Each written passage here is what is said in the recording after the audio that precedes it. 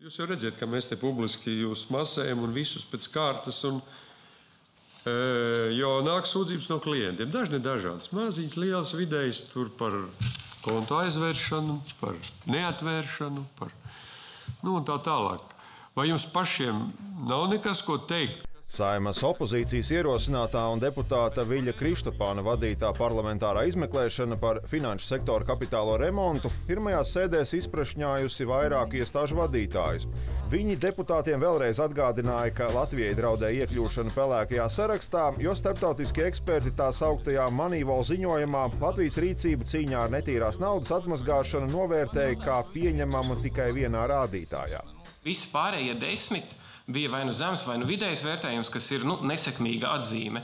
Un līdz ar to bija jādara viss, lai šos vērtējumus uzlabotu. Latvijas Bankas prezidents vienā no sēdēm atzina, ka Latvijā ieviesti augstie standarti nebūtu nav globāli. Jā, mēs ievērojam šos noteikumus, bet ir uh, valstis vai finanšu institūcijas, kas šos noteikumus neievēro. Jā.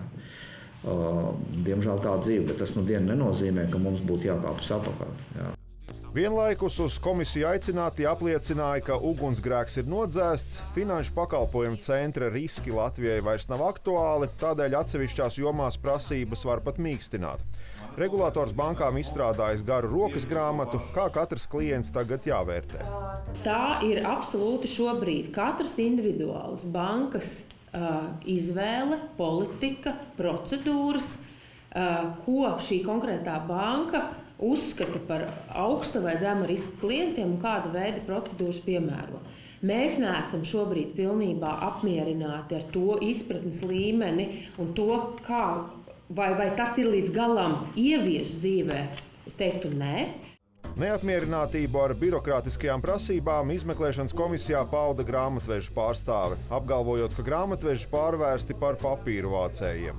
Mēs lūdzām, lūdzu, mums atļaujiet, ja klients ir reģistrēts Latvijā, ja viņam ir atvērts bankas konts, viņu vairs nepārbaudīt. Advokātu Cunftes pārstāvis savukārt deputātiem stāstīja, ka prasība ziņot par aizdomīgiem klientu darījumiem ir pretrunā klientu tiesībām uz aizstāvību. Tajā brīdī, kad vēl nav tiesvedība, persona griežas pie advokāta un advokāts jau par viņu ziņo. Nu, mums gan arī pārmet, ka mēs neziņojam pietiekamā apjomā. Tas, tas, tas tā taisnības pēc jāpiemina. Jā. Kristopāna vadītā parlamentārās izmeklēšanas komisija izceļas ar garāko nosaukumu pēdējo saimu vēsturē. Tas tāpēc, ka, neskaitot kapitālo remontu, komisija apņēmās izmeklēt arī trīs banku - ABLV, PNB un Baltic International Bank slēgšanu. Taču jau pirmajā sēdē deputāti saskārās ar realitāti. Prokuratūra informēja, ka par notikumiem šajās bankās pašlaik ir ierosināti vairāki krimināli procesi, tādēļ daļa no informācijas ir izmeklēšanas noslēpums. Savukārt Latvijas Banka vērs uzmanību, ka nevar publiskot dokumentus, kas atrodas Eiropas centrālās bankas arhīvā bez Frankfurtas piekrišanas. Ja mēs tomēr eh, pie tām bankām, kas ir ietvertas šīs komisijas nosaukumā, kaut kādā mērā pieskaramies, tad droši vien mums ir pa priekšu ar Eiropas centrālo banku jāsazinās. Nu, labi, līdz tam mēs laikam nonāksim, nu, vai nenonāksim. Tādēļ izskatās, ka atsevišķām bankām komisija nepieķersies. To negrib arī vairāki komisijas locekļi. Vislielākais satraukums ir par PNB bankas īpašnieka Grigoriju Guseļņikovu uzklausīšanu. Guseļņikovs pēc komisijas izveidošanas nosūtīja vēstuli deputātam Aināram Šleseram, paužot gatavību atbildēt uz jautājumiem. Šlesers de facto sacīja, ka vēstuli nodevis partijas biedram Kristopānam. Useņikovs iesūdzējis Latvijas valsti starptautiskā šķīrētiesā. Tādēļ valsts kancelē nešaubās, ka komisijā izteikto Useņikovs izmantos tiesas prāvā. Es nedomāju, ka mēs kaut kādā veidā uh, kaitēsim valstī. Tas, ka man personīgi nav ne mazāko šaubu, ka no bankas ir pazudusi diezgan liela nauda Guseļņikova virzienā. Par to man liekas, nevienam vairs nav šaubu. Jā. Kristopāns apgalvo, ka Guseļņikovā negrib klausīties, bet vēlas iztaujāt bijušo Guseļņikovu vietnieku bankas padomē Andersu Fogu Rasmusenu. Bankas likvidators tajā skaitā no Rasmusena pašlaik cenšas piedzīt 32 miljonus eiro, kas esot bankai nodarītie zaudējumi. Es ar komisijas vadītāju tiesībām uzrunāšu Rasmusenu kungu un aicināšu viņu liecināt mūsu komisijā, izstāstīt savu stāstu.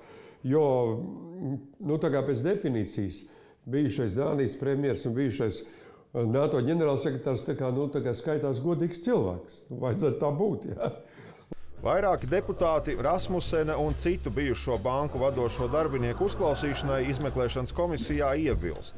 Man bija bažas, ka šo komisiju vēlēsies izmantot pēc būtības, lai jauktos atsevišķos krimināla procesos, un atsevišķi politiķi mēģinās kļūt par apsūdzētu advokātiem. Nu, diemžēl man šīs bažas arvien vairāk piepildās, jo man ir tāda sajūta, ka komisijas darbā mērķis ir diskreditēt šo kapitālo reformu kā tādu. Un man ir tāda sajūta, ka ir tāda neliela pat nostalģija par tiem laikiem, kad Latvija varēja skalot Krievijas naudu. Tas, kā sākotnēji tika veidot šī komisija, lai izķidātu šie, šo trīs banku likvidāciju, nu, tas vienkārši nav iespējams. Tāpēc, ka notiek tiesvedības, un mēs nekādā veidā nedrīkstam ietekmēt uh, tiesvedību. Ja kas, kas tiek teikts, var tikt pavērsts pret Latvijas valsts, un it kā pat labu gribēdams, varbūt Krišpāna kungs ir gribējis kaut ko labu arī, bet uh, viņa darbība ir drīzāk kaitniece šobrīd. Parlamentārās izmeklēšanas sēdēs līdzās svarīgiem jautājumiem, piemēram, kā veicināt kreditēšanu vai banku kontu atvēršanu, Ik pa laikam tiek izteiktas sūdzības, uz kurām atnākušajiem ir neiespējami atbildēt. Piemēram, kāpēc bankas neatver kontu kādam anonīmam šveicietim vai partijai tautas kalpu. Ne partijai, ne partijas priekšsēdētājiem līdz šai dienai nav atvērts konts, un viņam nav šansas atvērt kontu Latvijā. Tas ir normāli. Mums kā uzraugam un regulātoram nav juridisku tiesību uzspiest kādam tirgus dalībniekam kaut ko darīt. Parlamentārās izmeklēšanas komisijai darbs jāpabeidz līdz aprīļa beigām. Neviens no aptaujātajiem deputātiem neredz iespēju tik ātri nonākt pie vērtīga gala rezultāta. Galvenā problēma ir, ka katrā komisijas sēdē mums no vienas puses ir uzaicināts atbildīgās institūcijas, no otras puses mēs neesam atkal, mums komisijā tomēr nav tāda vismaz minimāla vienprātība attiecībā uz to, ko mēs īsti mēģināsim noskaidrot. Vai tā ir bijusi tiešām izmeklēšanas komisija, ka mēs tiešām mērķiecīgi kaut ko izmeklējam, vai arī vairāk iepazīstamies un uzzinām situāciju, es teiktu, ka drīzāk otrais variants. Es ceru, ka to darbu varēs pagarināt, jo nu, šobrīd pirmkārt tas apjoms ir milzīgs. Mēs vēl pat neesam visas iesaistītās puses pat pirmo reizi uz, uzklausījuši uh, Un, un arī tas, tas, tas rezultāts vai mērķis, ko mēs ejam, tas ir diezgan augsts detalizācijas pakāpe. No valdošās koalīcijas deputātiem izskan pretenzijas pret komisijas darbu pagarināšanu. Tomēr Kristapāns vēlas darbu turpināt. Normāli vajadzētu līdz gada beigām. Un es redzu, ka aizvien vairāk un vairāk politiķis liecās uz to, ka mēs jau nevienam netraucējam. Mēs jau gribam labu. Mēs gribam vienkārši pretsvaru tai ierēģņu vēlmei uh, nu, izliet no vanniņas ūdeni kopā ar bērnu. Jā, kontrole vajadzīga, viss ir vajadzīgs, bet saprāta robežās. Jāatzīmē, ka parlamentārās izmeklēšanas komisijai piešķirts budžets konsultanta algošanai - 3200 eiro pirms nodokļu nomaksas uz trim mēnešiem, kā arī komisijas priekšsēdētājs Kristupāns saņem 57% piemaksu pie deputāta algas kas kopā veido vairāk nekā 6200 eiro pirms nodokļu nomaksas.